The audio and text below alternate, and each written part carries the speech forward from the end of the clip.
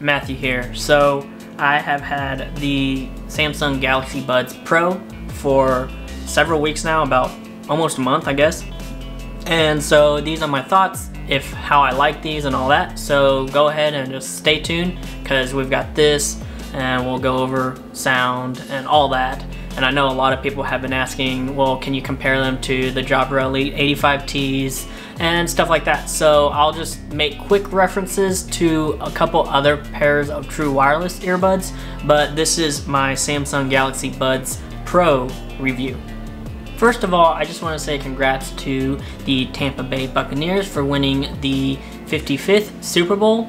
Uh, congrats uh, Tom Brady for winning his seventh Super Bowl championship. So yeah, the Samsung Galaxy Buds Pro, uh, they're $199.99. Um, they are Samsung's premium true wireless earbuds. As you know, um, the past several years, uh, Samsung has really kind of pushed into gear their true wireless earbuds with the um, before before this this generation, I guess, of true wireless earbuds. They had the Gear Icon X uh, 2016 and 2018 versions, and those were decent. They weren't the best pair of true wireless earbuds. The case was massive compared to cases nowadays and stuff like that, but they were decent. But Samsung really kind of threw everything into gear with their Galaxy Buds that were I think $129.99 at the time. They're a lot cheaper now if you want to find them on Amazon stuff like that. But then they pushed that up to $159.99 with the Galaxy Buds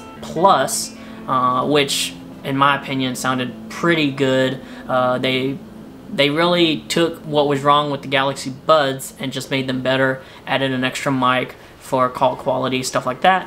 And then last year they had the Galaxy Buds Live, which were their, I guess, open ear ANC earbuds that looked more like a jelly bean or a bean shape rather than uh, an earbud. And it was kind of weird, but they sounded decent. Um, decent battery life. They had a different style case, more of a, as they said, a jewelry box case. And then this year they came out with the Samsung Galaxy Buds uh, Pro.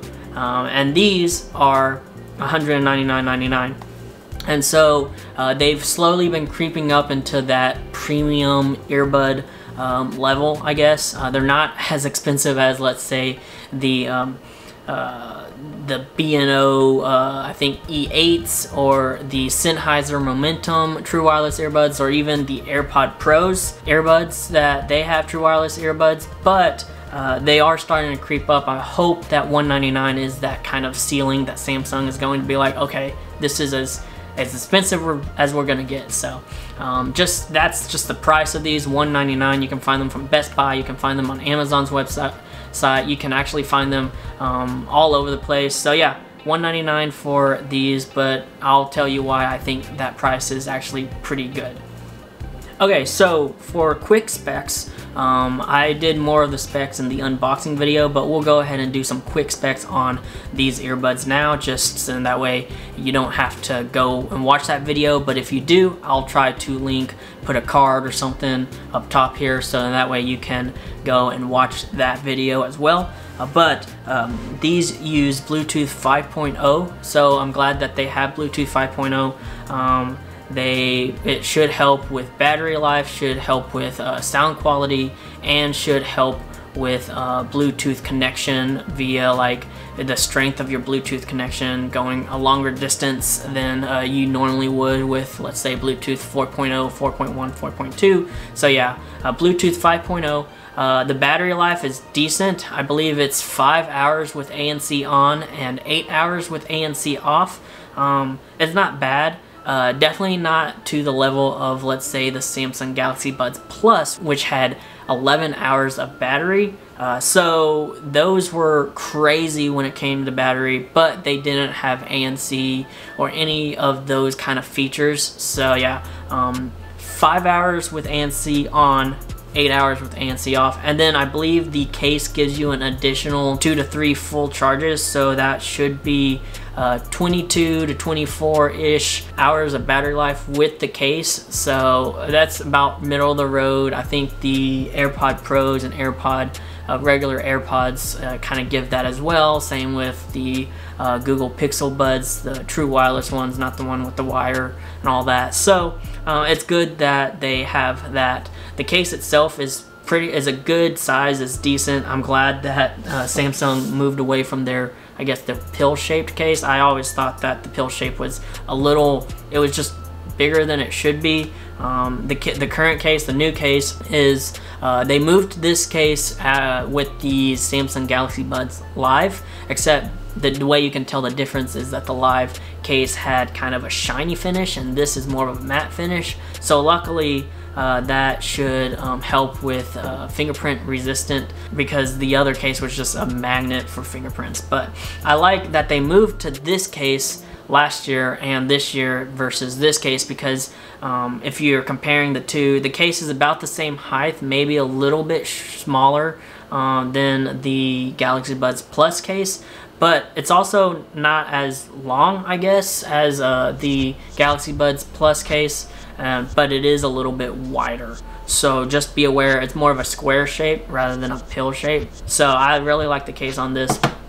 I like that the case is it snaps really easily into place as you can hear. Let's just just like that it snaps into place it's got it has that nice satisfying snap it, it is pretty open whenever um, when you open it the the hinge isn't like super flimsy or anything like that which is nice it kind of flips open all the way or all the way closed. There's no in between, which is good because I know with with some other earbuds when when I've opened the case, um, it kind of you have to do a little bit of extra effort to keep it open, and that leaves it open to I guess your earbuds falling out, stuff like that. Especially with the Galaxy Buds, the original Galaxy Buds, uh, the case was like that, and it kind of made it a little bit difficult because you had to kind of either open it all the way or close it because if you didn't then the case would kind of get in your way for taking out the earbuds. So I really like the case on that. Uh, the case charges via USB-C uh, right here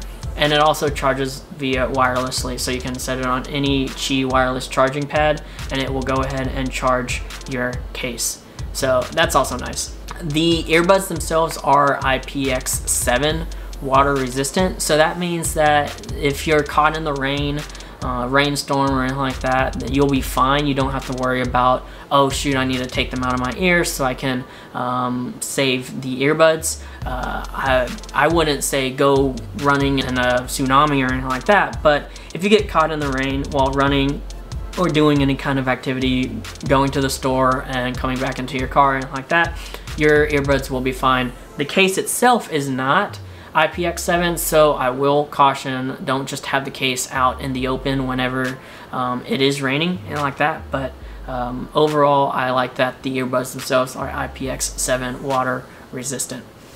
When it comes to features on these, uh, the Galaxy Buds Pro definitely don't lack in features. They have your ambient mode, which was in the Galaxy Buds Live, and also in the Galaxy Buds Plus.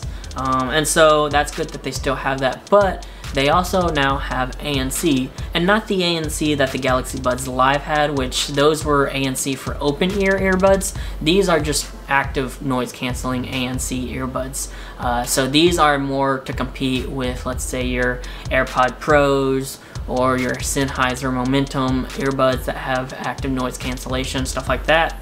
Um, and so I really like that this has those features. It also has features where if you put them in your ear and you start talking, it will go ahead and take turn off the ANC and it will pump in your ambient noise uh, so you can hear yourself talking while and hear uh, the person you're talking to while also kind of listening to your music, it kind of pushes the music down, I guess, and pumps in noise.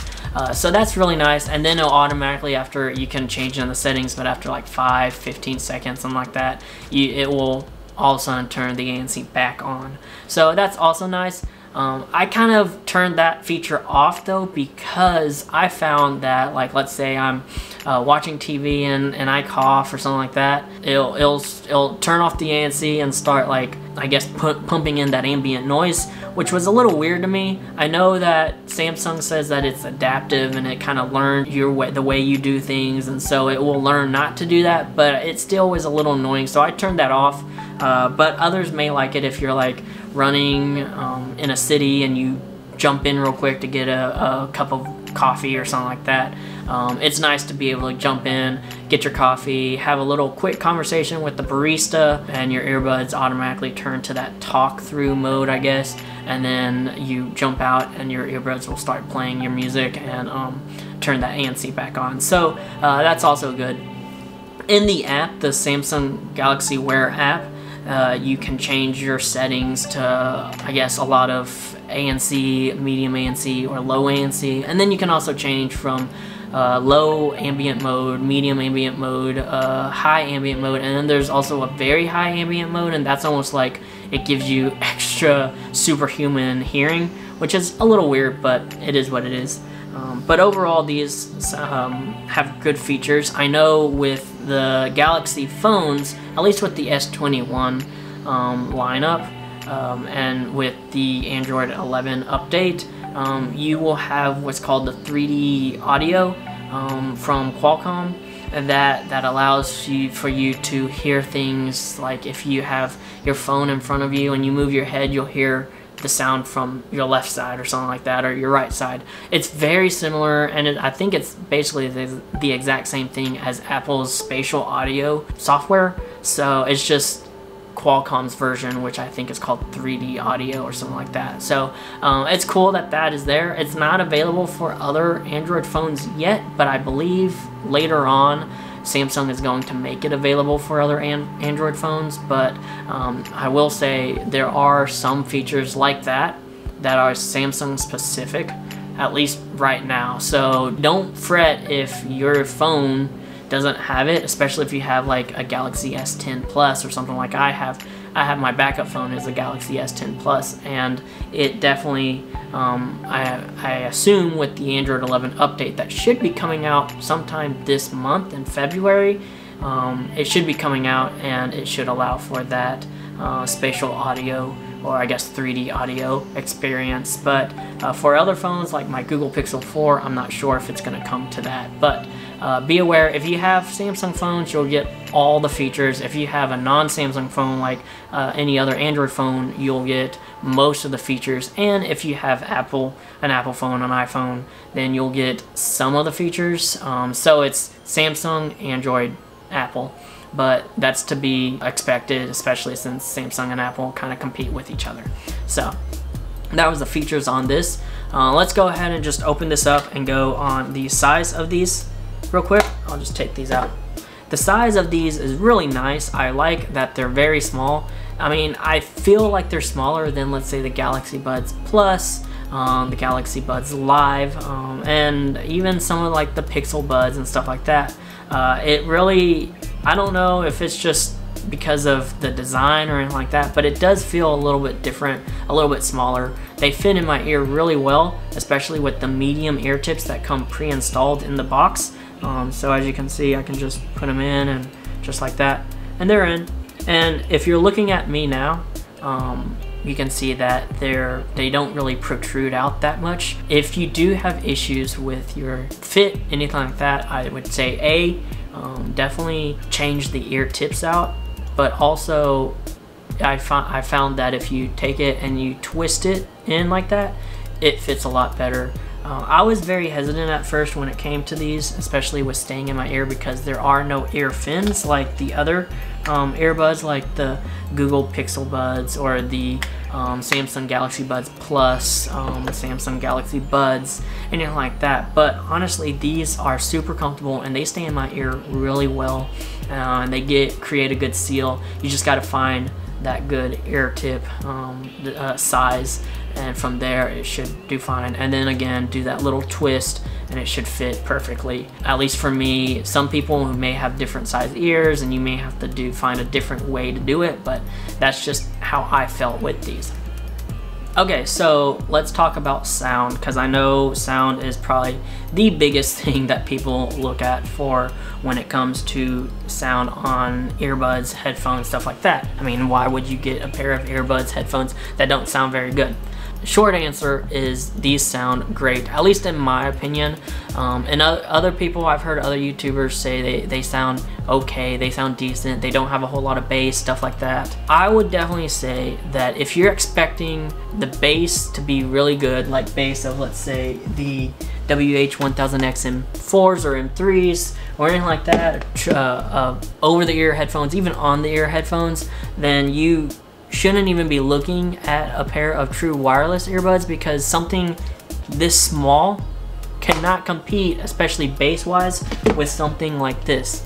These have an 11 millimeter woofer and a 6.5 millimeter tweeter, um, which is decent for true wireless earbuds, but something like over-ear headphones, the Sony's, the Bowers & Wilkins PX7s, those have like a 42 to 43 millimeter um, speaker driver. So obviously an 11 millimeter speaker driver can't compete against a 42 and 43 millimeter speaker driver. So if you're looking for something with a ton of bass, I would definitely say don't even look at true wireless earbuds. The only ones that I would say can come even somewhat close, but not really close, would be the Sony WF-1000X M3s. That's their true wireless earbuds. Or the, um, I believe the Powerbeats Pro um, earbuds. Those have some pretty good bass to, in them as well. But uh, other than that, I, th I think if you're looking for something with a ton of bass, don't go for a pair of true wireless earbuds. With that out of the way, let's talk about sound on these. Uh, these sound really good in my opinion uh, because each earbud has two drivers in it, a 6.5 millimeter tweeter and 11 millimeter woofer. It allows for good, crisp, clear, uh, clean audio. The bass doesn't get muddied, um, doesn't muddy the mids and highs, treble, and like that. Um, and so it, it's really good. It's really nice that um, they have two drivers. It's always good to have, the more drivers you have, the better an earbud tends to sound because if you're, say you're looking at a car speaker, uh, if you notice, uh, most car speakers have two speakers in them or two drivers in them. You have your woofer cone, but either inside the woofer cone or a separate cone itself, you have a tweeter. And that's because it's hard to have clean, clear audio um, that also has good bass if you're pushing everything out of one cone or one driver, which tends to happen with a bunch of true wireless earbuds. Um, even non-true wireless earbuds like over-the-ear headphones and stuff like that, it tends to happen where the bass muddies the mids and highs, or you get mids and highs that are nice and clear, but you don't get a whole lot of bass. So it's nice that there are two speaker drivers in each earbud, a woofer and a tweeter. Sound wise, they sound really good. You can hear the vocals really well. They're very distinct. They're separated really well from the woofer. And the high end where you, you get things like your guitar strums, your cymbal hi-hats, crashes, all that, they sound really good. They sound clear, they bright, you hear the the brightness of the hi-hat stuff like that so your mids are where your vocals sit and so you tend because of the tweeter being separate from the woofer you tend to have good vocal separation from the low end. So these just sound really good in my opinion. I know I've had someone say hey will you compare them to the Jabra Elite 85Ts I would say that when it comes to sound these have more of a neutral sound out of the box. Uh, the 85Ts out of the box have more of a warmer sound. Of course, you can kind of change that a little bit with the EQ settings in both of the apps um, that are both available for Android and iOS. But um, I think, at least in my opinion, the the sound of these out of the box sounds a lot better. I know there's more customization in the Jabra Elite 85T app when it comes to EQs than there are with the Samsung app because that one is more just of a pick between bass boost, dynamic, treble boost, stuff like that. But I think that these sound really good, um, honestly. Um, and for $199.99, $200, these are a great pair of earbuds, um, especially when it comes to sound. Uh, I have not been disappointed with these. Before this, the Google Pixel Buds right here were probably my favorite because they had decent sound. Not amazing sound, but decent sound. They had pretty good bass, but the portability of the case, the features with the Pixel phone, all that were just hands down really good. But when these came out, I tried them and honestly now when I go to the store and like that, these are my go-to earbuds that I reach for for anything, just walking around the street, walking around the store, uh, anything like that. I would definitely say these are good. Uh, you can take these to work out. Uh, be a little cautious because yes, these are sweat resistant, but uh, if you sweat a whole bunch, I would say these might fall out of your ears, but I know just walking around, I haven't had to really adjust the fit or push them back into my ears or anything like that. These sit pretty well in my ears and stay pretty securely in my ears. So yeah, uh, these are a great pair of true wireless earbuds in my opinion. For $199.99, Samsung has made probably the best pair of true wireless earbuds that they've made currently. So yeah, uh, these are the Samsung Galaxy Buds Pro. I'll try to do a comparison between these and let's say the Jabra Elite 85Ts or anything else later on in the year. If you want to see a comparison between these and let's say the AirPod Pros or the Pixel Buds or even let's say the Galaxy Buds Plus, the Galaxy Buds Live, maybe even the 85Ts, write in the comment what comparison you want and I'll try to make a comparison between uh, these and one of those pair of true wireless earbuds later on the road after I do um, some other videos and, and all that. But anyways, thank you guys for watching. This has been my Samsung Galaxy Buds Pro review. Uh, if you like this video, go ahead and give it a thumbs up. If you want to see more, go ahead and subscribe. Hit that bell icon to be notified when I post another video. Until then, everyone, stay safe. Peace.